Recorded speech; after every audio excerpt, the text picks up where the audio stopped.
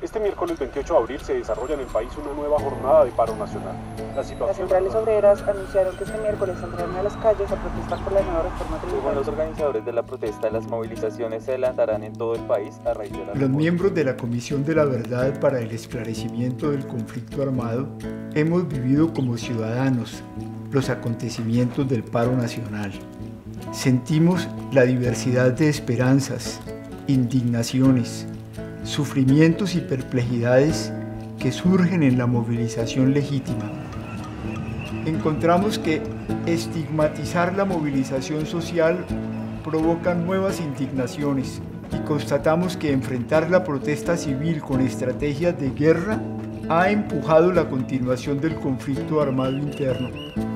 Estamos ante un grito masivo de insatisfacción, hambre y desconfianza en las instituciones que requiere comprensión y escucha.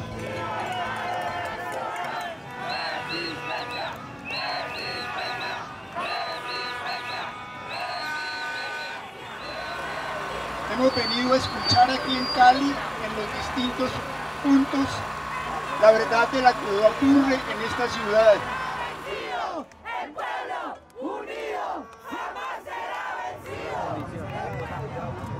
Yo creo que lo que está, por supuesto, en el centro de este paro es un acumulado de desigualdad profundo.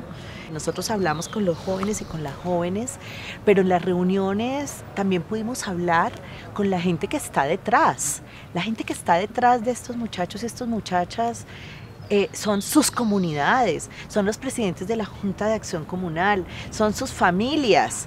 Claro, son ellos los que están allí, pero detrás realmente hay un proceso social y comunitario muy potente.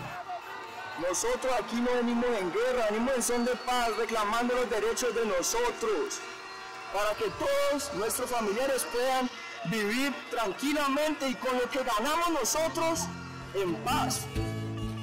Nosotros soñamos un país que verdaderamente no manden al poder económico, sino que sean las necesidades del pueblo, de la niñez, de la juventud, del indígena, del campesino, los que se vean representados.